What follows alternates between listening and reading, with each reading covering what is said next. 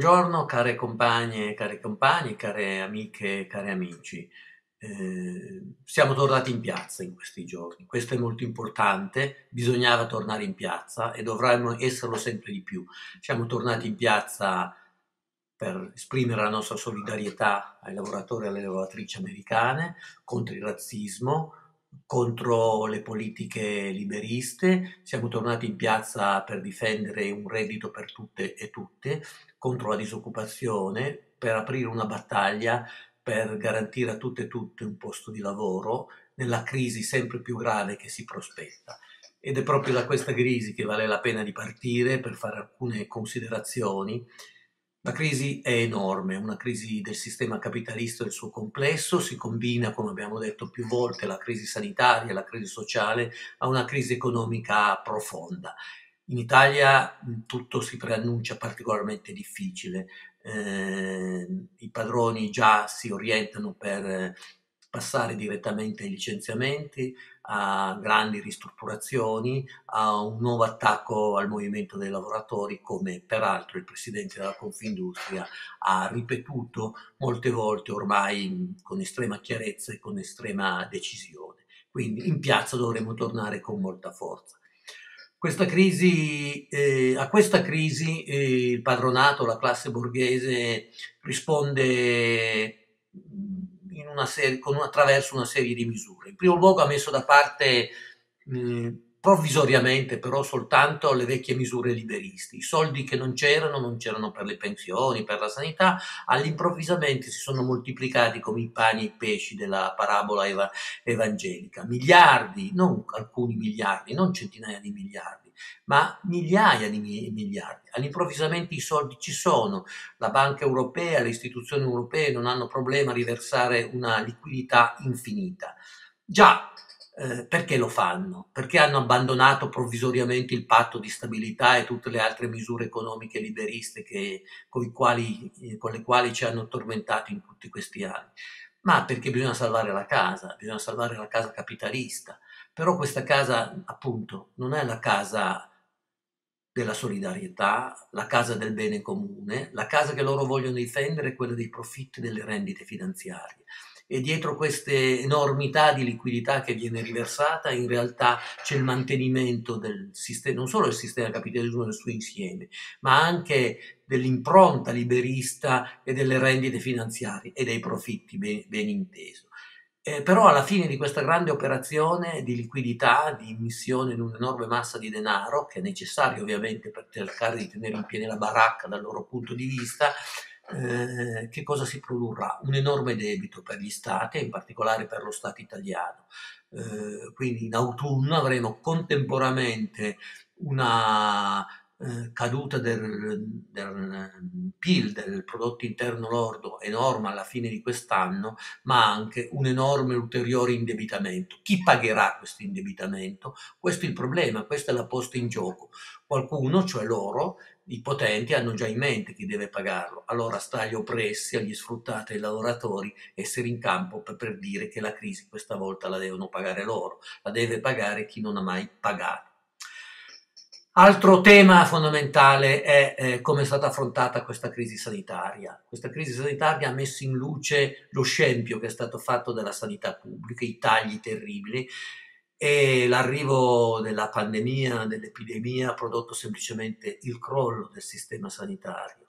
È parso chiaro la difficoltà ad affrontare il virus in modo adeguato e soprattutto anche adesso quando sembra un po' essersi attenuata l'epidemia, ecco che appare con chiarezza che tutta una serie di altri servizi sanitari semplicemente in questi mesi sono saltati e quindi il rischio è ancora più grande. È la pandemia, l'epidemia, il Covid, ma nello stesso tempo anche sono tutti gli altri interventi sanitari che sono stati rimandati, posticipati e non c'è una struttura in grado di poterla affrontare adeguatamente. Questo è una responsabilità enorme dei governi della classe dominante che hanno massacrato la sanità in tutti questi anni. Nella questione poi di questi ultimi mesi vediamo un po' diciamo, chi è che ha agito e come hanno agito. Il governo ha agito in ritardo, in modo insufficiente, ed ha accettato largamente i ricatti della Confindustria, tenendo aperte delle produzioni che noi delle attività che avrebbero dovuto invece essere interrotte per avere qualche speranza in più di bloccare l'epidemia. Le regioni i presidenti leghisti, ma tutti i presidenti delle regioni si sono mossi ugualmente in modo eh, inadeguato, perlomeno fortemente responsabile. E infine c'è la Confindustria, appunto, che ha preteso, imposto eh, che una serie di attività continuassero, che ha impedito anche la chiusura di determinate zone chiusura che se fosse stata fatta a tempo probabilmente avrebbe contenuto i terribili danni prodotti dall'epidemia stessa. Tutte queste forze hanno una grande responsabilità, sono responsabili dell'aumento dei morti, di migliaia di vittime che probabilmente avrebbero potuto essere eh, eh, risparmiate. E adesso che stanno arrivando tutti questi soldi, che cosa succede? I padroni eh, chiedono tutto. Hanno già avuto moltissimo, le misure finanziarie del governo hanno già dato loro decine, anzi centinaia di miliardi, ma chiedono ancora di più perché adesso arrivano pure i soldi eh, eh, europei. loro vogliono avere questo denaro eh, e vogliono mantenere il controllo del loro utilizzo. Eh, è fantastico la posizione della FCA che da una parte distribuisce 5 miliardi e mezzo eh, di dividendi ai suoi, alla famiglia, una famiglia bisognosa, quella di Agnelli notoriamente, e dall'altra parte però chiede un prestito alle banche, un prestito che secondo il decreto attualmente in vigore eh, sarà coperto dallo Stato stesso fino al 70-80%. In poche parole, i dividendi da una parte, i soldi dallo Stato, dall'altra eh, per poter continuare le loro attività e per in realtà costruire le condizioni del mantenimento dei loro eh, profitti.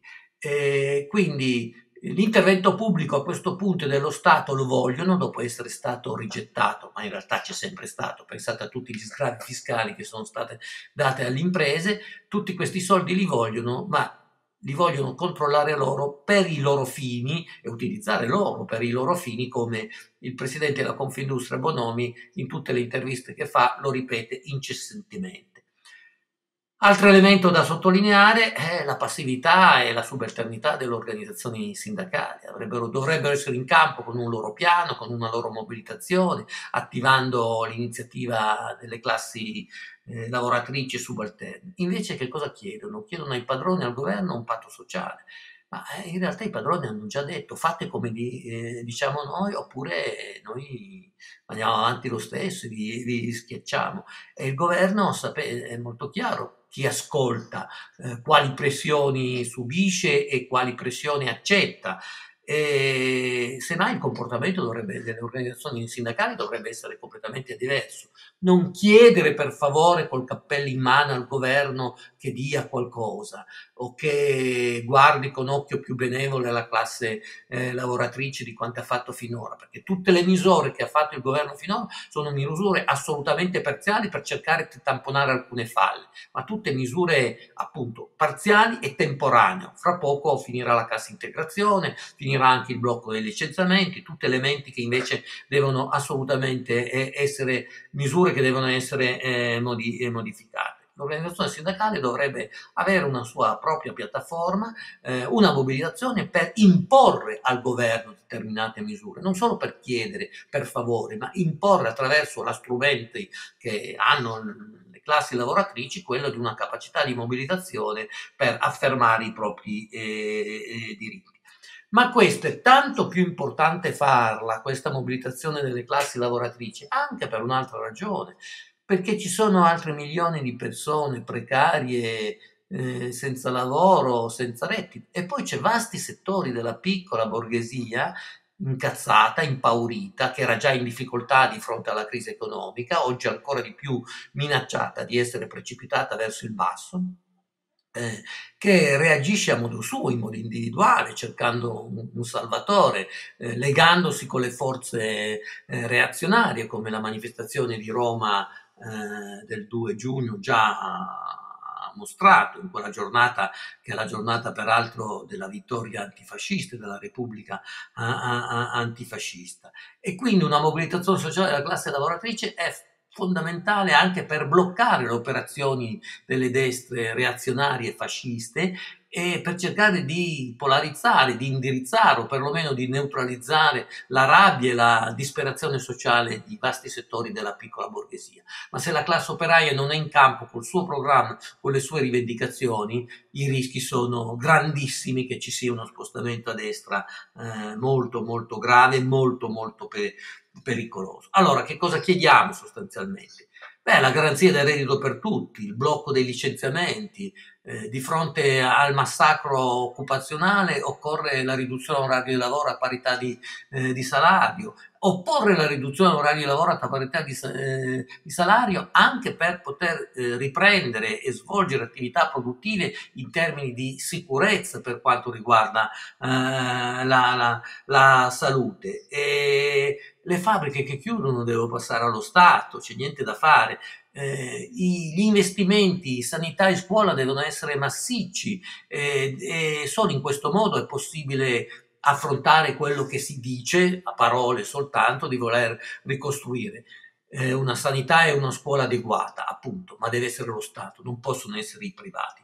Basta dare soldi ai padroni dicendo poi loro creano posti di lavoro, è eh, l'iniziativa pubblica, l'intervento pubblico che deve creare dei posti di lavoro sicuri, buoni, utili alla società e alla, alla collettività, utili anche dal punto di vista evidentemente della ricostruzione di un servizio pubblico sanitario adeguato e utili per poter costruire l'intervento rispetto alla catastrofe ambientale che anche questo si preannuncia e che tanto più l'epidemia ha, ha, ha preannunciato. Eh, quindi lo Stato deve creare posti di lavoro e lo deve fare in funzione del bene complessivo della comunità. Dove prendere i soldi? Ma i soldi bisogna prenderli dove ci sono, bisogna prenderli in quel pezzo della popolazione che si è appropriato di un enorme fetta della, della, ricchezza, della ricchezza prodotta eh, peraltro dalle classi lavoratrici. E gli strumenti sono più di uno. Beh, serve sicuramente da parte dell'Unione Europea, serve l'emissione straordinaria di titoli comuni europei perpetui, ovvero se, senza scadenza, sine die, cioè vuol dire immettere questa liquidità molto forte, ma non da darlo alle aziende. Significa per poter fare politiche, politiche espansive dal punto di vista occupazionale e dal punto di vista del sostegno al reddito.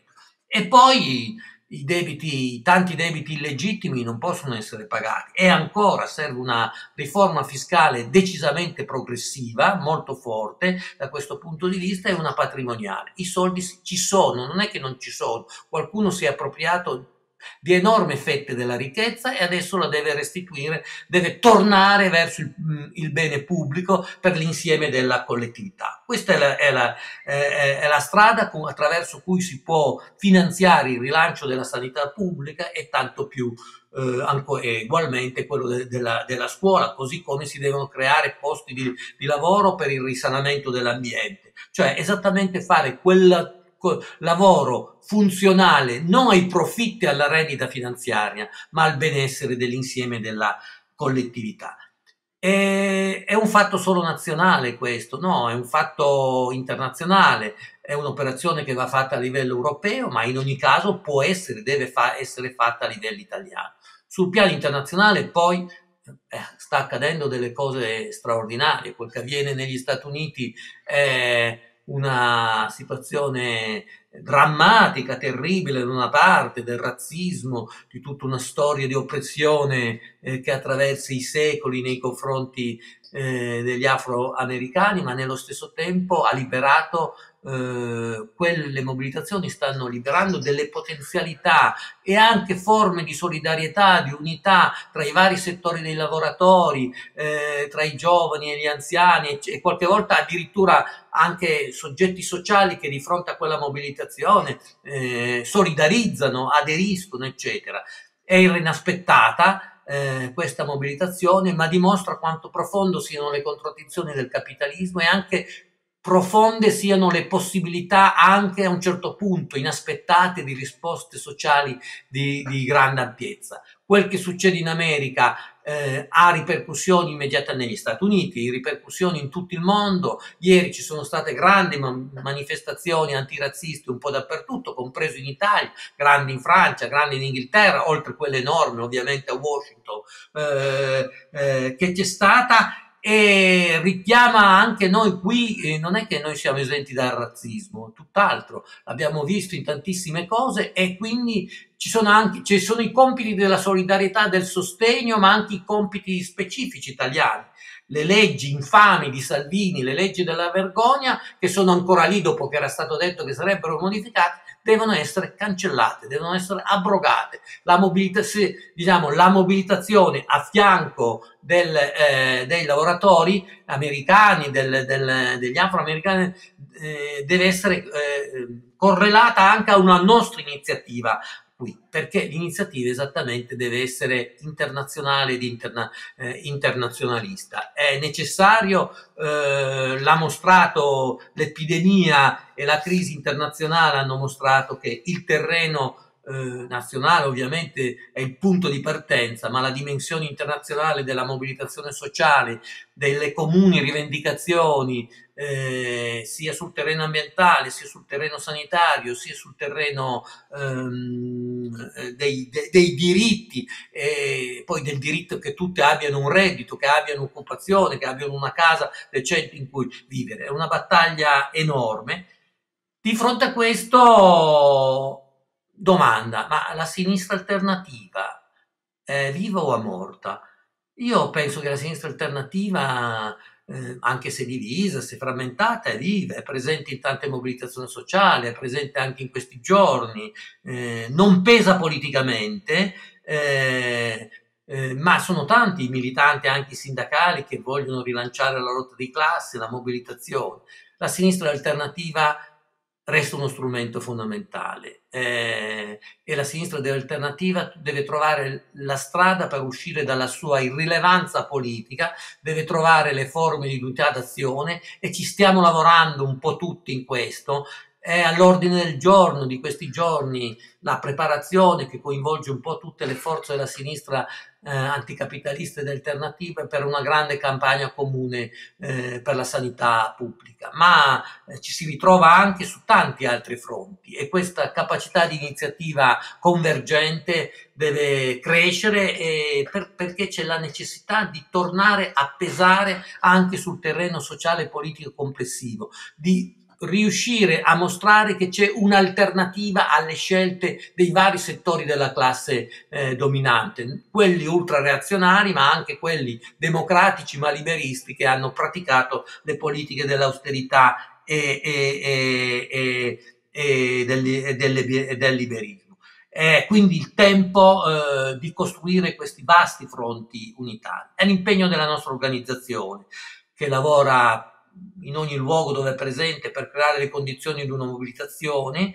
eh, ma che lavora anche per favorire l'auto-organizzazione dei movimenti sociali. Non è semplicemente l'azione dell'organizzazione, dobbiamo lavorare tutti perché le classi lavoratrici, i vari soggetti sociali tornino protagonisti, si auto-organizzino, costruiscano la loro mobilitazione che è anche la base per poter avere la forza per cambiare le cose e che permette anche una crescita della coscienza sociale e, e politica. Anche perché appare- siamo in momenti drammatici di grandi sconfitte subite nel passato, ma anche nei momenti in cui, in cui sembra che l'orizzonte sia più chiuso, all'improvviso, e in cui sia più chiuso per l'idea di un'alternativa socialista, vedete come negli Stati Uniti eh, d'America, ma anche altri, si aprono grandi contraddizioni e la battaglia per una società alternativa, per eh, il socialismo resta più che mai d'attualità, anzi la battaglia per l'ecosocialismo.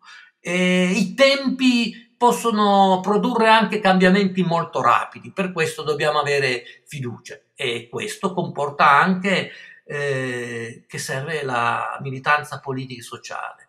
La militanza politica sociale delle compagne e dei compagni è una condizione fondamentale per poter inserirsi nelle contraddizioni, per potersi inserire nelle disponibilità che ci sono in settori di massa, per aiutare questi settori di massa a trovare la strada della lotta, della mobilitazione, della chiarezza delle proprie rivendicazioni e dei propri eh, difficili. Eh, più che mai è il momento di credere nella possibilità che gli sfruttati e gli oppressi possano eh, riorganizzarsi e tornare attivi e costruire un'alternativa a questo eh, sistema. Molti compagni mh, ci hanno anche contattato attraverso le dirette che abbiamo fatto in questi in, questi, in queste settimane. Chiediamo a tutti di darci una mano, di partecipare all'attività di sinistra anticapitalista, eh, lo chiediamo non in modo eh, di, divisivo, ma in modo esattamente di essere più forti per costruire questa eh, mobilitazione sociale ampia, unitaria e unitaria anche delle forze eh, della sinistra. Questa è una necessità fondamentale, la militanza politica, l'unità d'azione, la battaglia per un'alternativa, perché è necessario costruire la barbarie che il capitalismo produce ogni giorno. Più che mai il nostro obiettivo è quello di una società libera dall'oppressione e lo sfruttamento che oggi chiamiamo ecosocialista.